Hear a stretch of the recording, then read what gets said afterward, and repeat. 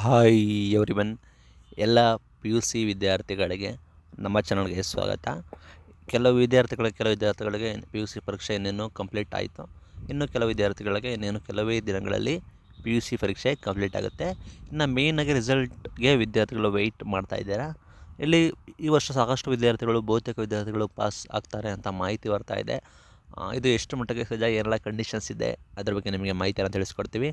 ಚಾನಲ್ಗೆ ಸಬ್ಸ್ಕ್ರೈಬ್ ಎಲ್ಲ ಸಬ್ಸ್ಕ್ರೈಬ್ ಆಗಿ ವಿಡಿಯೋ ಎಷ್ಟು ಆದರೆ ಲೈಕ್ ಮಾಡಿ ವಿದ್ಯಾರ್ಥಿಗಳಿಗೆ ಗಮನಿಸಿದ್ರೆ ಈ ವರ್ಷ ಸೈನ್ಸ್ ವಿದ್ಯಾರ್ಥಿಗಳಿಗೆ ಕೆಲವೊಂದು ಸಂಕಷ್ಟ ಆಗಿದೆ. ಯಾಕಂದರೆ ಸೈನ್ಸ್ ವಿದ್ಯಾರ್ಥಿಗಳಿಗೆ ಕೆಲವೊಂದು ಪ್ರಶ್ನೆ ಪತ್ರಿಕೆ ಕಠಿಣತೆಯಿಂದ ಒಳಗೊಂಡಿತ್ತು. ಅದರ ಬಗ್ಗೆ ಪೇಪರಲ್ಲಿ ಕೂಡ ಬಂದಿತ್ತು.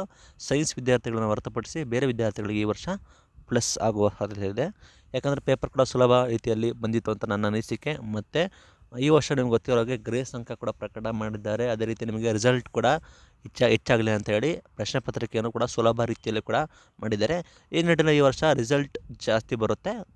ಹಂಡ್ರೆಡ್ ಪರ್ಸೆಂಟ್ ಶೂರ್ ಹೇಳೋಕ್ಕಾಗಲ್ಲ, ಎಲ್ಲ ವಿದ್ಯಾರ್ಥಿಗಳು ಪಾಸ್ ಆಗ್ತಾರೆ ಅಂತ. ಒಟ್ಟಾರೆ ಈ ವರ್ಷ ಕಳೆದ ವರ್ಷಕ್ಕಿಂತ ಕಂಪೇರ್ ಮಾಡಿದ್ರೆ ಪಾಸಿಂಗ್ ಪರ್ಸೆಂಟೇಜ್ ಹಂಡ್ರೆಡ್ ಪರ್ಸೆಂಟ್ ಜಾಸ್ತಿ ಇರ್ತದೆ.